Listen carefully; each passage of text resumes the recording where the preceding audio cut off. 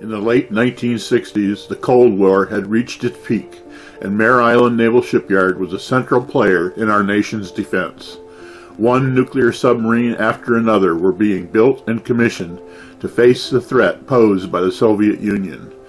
Vallejo was a Navy town, rightfully taking great pride in the shipyard whose reputation for quality was well known.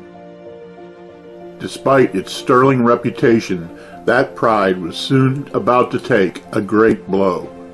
In early 1969, the future commanding officer of a nuclear submarine under construction was so concerned about the lack of coordination between nuclear and non-nuclear workforces that he wrote a letter pointing out the need for a central controlling agency to govern construction.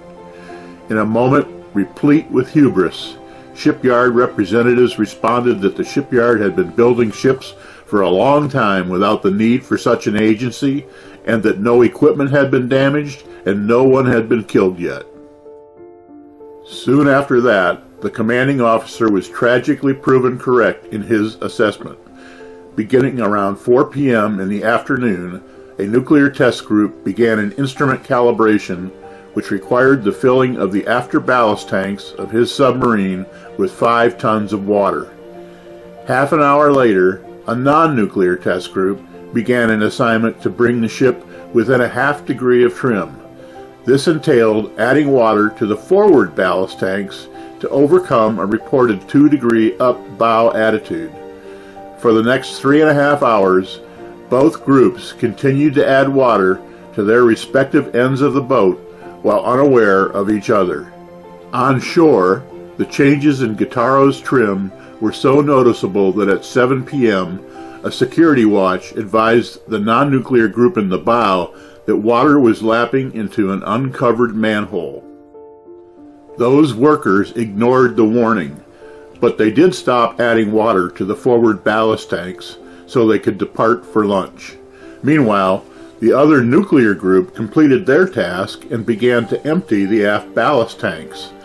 This caused the ship to drop down sharply at the bow, creating massive flooding through open hatches. Workers scrambled to close the hatches and the watertight doors within the submarine, but it was too late. The USS Guitarro sank at around 9 p.m. In the days following the sinking, the shipyard rallied to raise the Guitarro while at the same time it was under the heavy scrutiny of a naval court of inquiry and a separate congressional inquiry. The damage to the ship was extensive as her electronics and systems were all compromised by the flood of salt water. Tens of millions of dollars were required to repair the damage, delaying the commissioning of the ship by over a year. Some faced disciplinary action, but it was the damage to the shipyard's reputation that was most hurtful as the workforce became the butt of jokes. Shipyard workers suffered the ignominy of being awarded the Flying Fickle Finger of Fate Award on the popular TV show Laugh-In, and later that year, an association gave Mare Island their Pot Metal Goose Egg Award. Because of this event, Mare Island instituted many changes in organization and operating procedures, changes that were instituted across all naval shipyards. The USS Guitarro was commissioned in 1972 and went on to serve for 20 years until she was decommissioned at Mare Island following the end of the Cold War.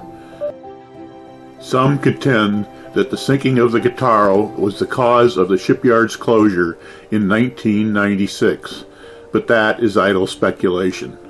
The fact is, the end of the Cold War combined with short-sighted planning on the part of Congress and the Navy, led to the shipyard's closure.